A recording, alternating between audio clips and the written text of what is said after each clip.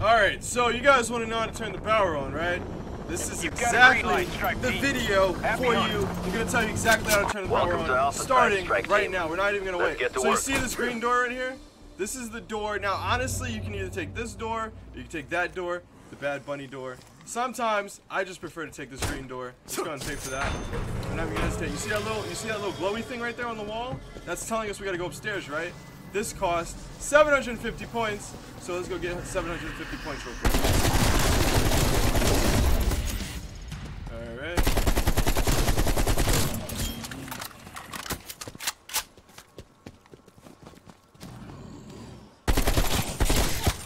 Alright, well that's not gonna give us enough points, so hold on. I I'll would you not be surprised. Alright, so we have enough points to blow this up right here.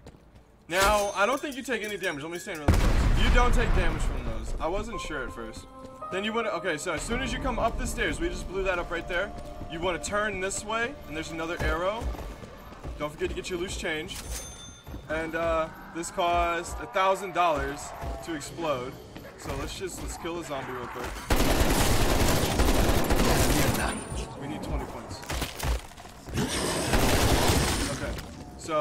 Then you want to blow this wall right here.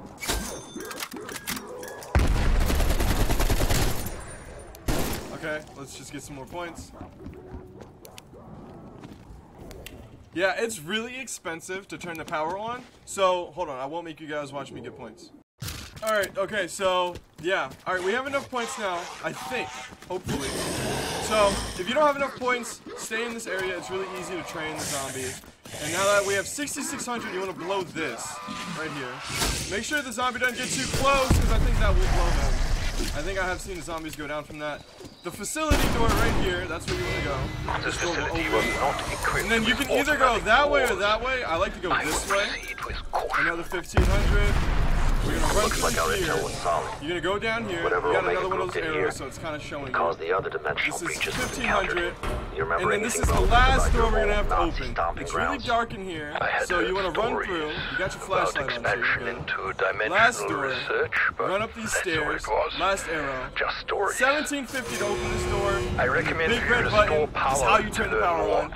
And there's your tutorial on how to turn the power on Die Maschine. And from there, you can do whatever it is that your heart pleases. And on that note, bye-bye, zombie. And I will see you guys in the next video.